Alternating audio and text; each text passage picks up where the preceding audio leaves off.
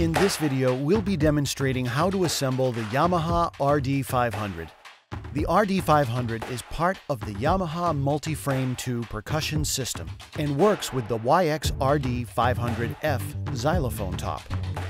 The Multiframe 2 was engineered with the player in mind, with easier height adjustment, robust wheels for greater maneuverability, and excellent ergonomics. This is our most advanced frame system yet. Let's make sure you have everything you need to get started.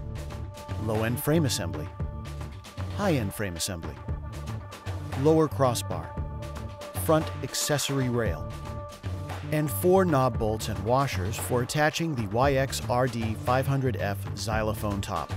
There are no tools required for the assembly. Please be sure to hold on to all packaging until you've completed the assembly. This ensures that you don't accidentally discard any parts. Let's begin. First, make sure that the wheels on both frame assemblies are locked so that they will not move around while you work. With the low-end frame assembly upright, insert the lower crossbar into the low-end frame assembly. Please note that the crossbar has a notch and a letter on each end. This notch should be facing up and the letter should match up with the corresponding letter of each frame assembly. Once the crossbar is fully inserted, firmly tighten the wing nut. With the lower crossbar attached to the low-end frame, attach the angle support to the low-end frame. Remove the wing nut spring washer and washer from the center rail of the low-end frame.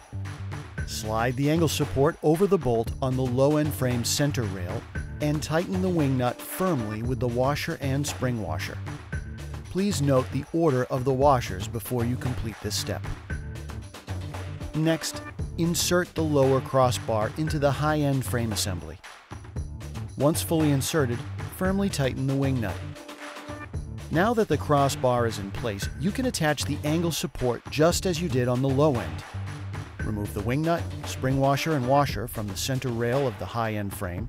Slide the angle support over the bolt on the high-end frame center rail and tighten the wing nut firmly with the washer and spring washer. With the base assembled, attach the front accessory rail.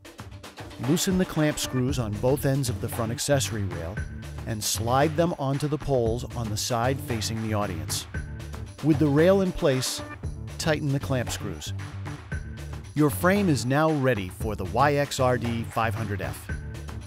With the help of a partner, carefully lift the xylophone top and gently place it on the L brackets of the multiframe. Please note that the resonators should not yet be attached to the YXRD 500F. Align the L brackets with the holes on the underside of the xylophone and insert the supplied knob bolts and washers to secure the xylophone to the multi-frame. Do not fully tighten until all knob bolts are in place. With the xylophone in place and properly aligned, tighten the four knob bolts.